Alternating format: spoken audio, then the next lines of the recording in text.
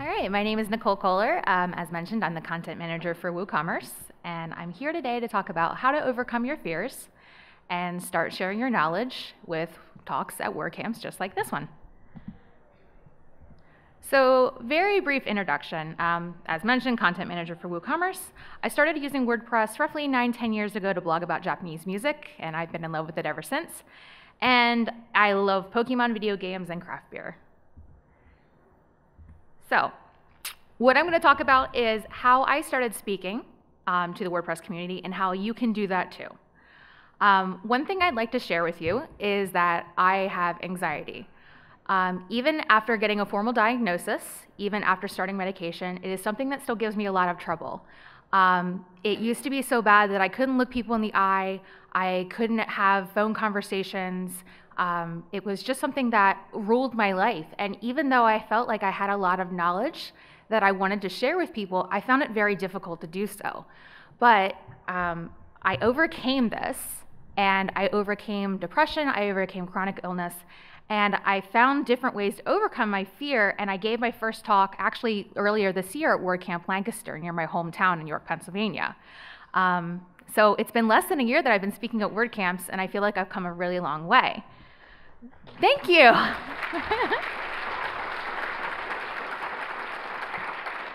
Thank you so much. Um, so the reason I'm giving this talk is there are four tips that I feel like I can share with anyone who might be in a similar, similar situation and wants to share their knowledge with the community and start speaking at WordCamps or WordPress meetups and doesn't know how or doesn't know how to overcome their fear. So, the first tip find your thing and own the thing. So, by this, I mean everyone's an expert on something, right? Everyone knows something better than anyone else. Your thing might be your business, it might be something involving WordPress. Maybe you know how to start a WordPress site blindfolded, right? So maybe you can teach someone to do that really, really fast. Um, maybe you're an expert on getting started with WordPress, or maybe you're an expert on something um, related to code or intense customization. Maybe you know a lot about using WordPress to accomplish something like selling online or running a course or memberships. Or maybe it's just a matter of sharing how you did something with WordPress, how you started a store, how your business did something, um, sharing your learnings. Even though there are a lot of people out there who may, you may think are already speaking and you think are great speakers, they don't have the knowledge and experience that you do. So that's why I say find the thing and own the thing. Your knowledge and experience is absolutely worth sharing. And just how I'm up here kind of being meta talking about talking. Um, that's something you can do as well. Talk about speaking at WordCamps, talk about something like that. I mean, again, your knowledge and experience is unique to you, and it's something that is absolutely worth sharing. So, first tip. Second tip is know, especially when you start speaking, you won't be great and just roll with it. Um, I want to tell you all a story about my very first WordCamp talk at WordCamp Lancaster in February of this year. Um, so the organizers did an amazing job, but what they didn't expect was that the venue didn't have the audio set up correctly. So I was the very first speaker, 9 a.m. Um, I went into my room, and there was another speaker in the room next to me. And we started speaking at the same time, and the attendees immediately go, We can hear the other speaker. And the audio was bleeding from both rooms into the other. So I'm trying to give my talk, and five minutes into it, the organizers start running up and switching my microphone, taking it off my shirt, stopping me in my talk, switching the microphone off again, taking it off completely. And I'm like, oh my God, this is my first talk. And I, I tried my best just to keep rolling with it. I mean, they were literally stopping me and the other speaker to do this. And I just tried to roll with it. At the end of it, I'm like, oh my God, that was probably a disaster. Everyone probably hates me. But I had people come up to me afterwards and go, I don't know how you got through that. Like, I couldn't have done that. And I was like, maybe I'm not so bad at this after all. so that's something you just just roll with it. I'm, I've had people tell me the more you draw attention to something, the more people are going to notice how nervous you are, or eh, you know, stumbling over your words or something like that.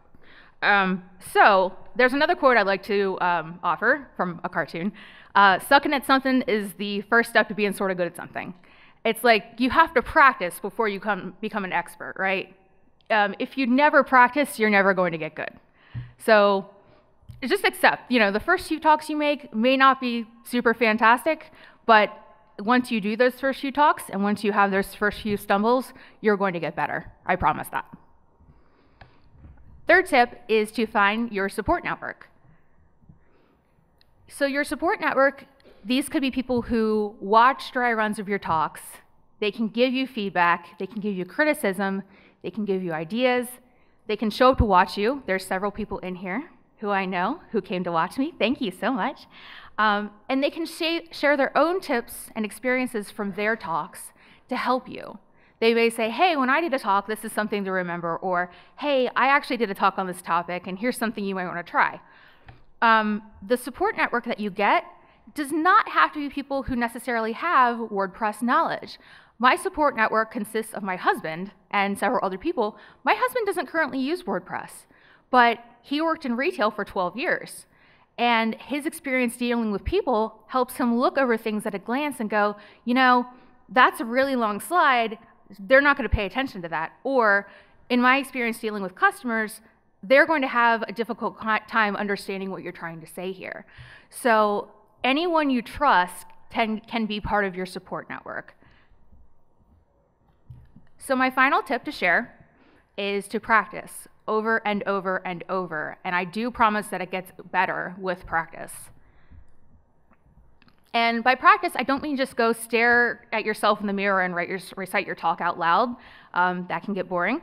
But you can practice the same talk at local WordPress meetups, um, small groups, maybe of coworkers at the same uh, co working space. You can speak at work. That's actually how I started speaking. I spoke to sales reps at my e commerce job. Um, if there's a volunteer opportunity for you to speak, you can do that. Or you can, if you're comfortable, speaking by yourself to yourself in the mirror or to your dog. I actually do that sometimes. My dog's very attentive. um, and if routine helps, I know with anxiety, um, I have to do things on a routine sometimes. Um, you can give the same talk in a few smaller spots, maybe at a few local meetups, before you take it to a big group like this one. So if I was really, really nervous about this talk, I might have taken it to like the WordCamp Harrisburg group and given it there. Um, and that can help you sometimes also get feedback or criticism or things to add or things to improve before you take it to a larger audience. Um, so that can be helpful as well. So before I finish up, um, I want to offer a few resources.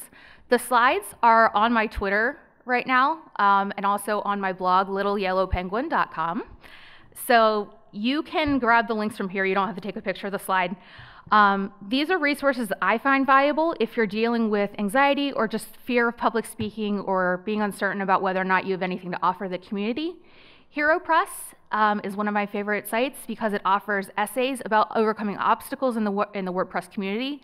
The essay I wrote was about overcoming anxiety, depression, and abuse to start speaking and to start giving back through different ways. Um, but there are a lot of incredible, wonderful, amazing stories on there. I definitely recommend reading this site if you have not already. Um, another site, or this is actually just one post that I recommend, is called An Introvert's Guide to Better Presentations. This gives tips not only for speaking as an introvert, but for making a really great presentation. So I highly recommend this. And finally, open sourcing mental illness. This has a lot of resources for those in the tech industry who are struggling with mental health, whether you're diagnosed or just think that you perhaps have depression, anxiety, or something along those lines. And the last thing I will leave you with, I want you all to remember whether you are already speaking, considering speaking, or too scared to get involved right now, you are awesome. All right? Repeat after me I am awesome. All right. So, thank you all. Thank you all so much for listening. Um, I appreciate any questions or comments you have. And again, my slides are on my Twitter. Um, I hope you enjoy State of the Word and the after party.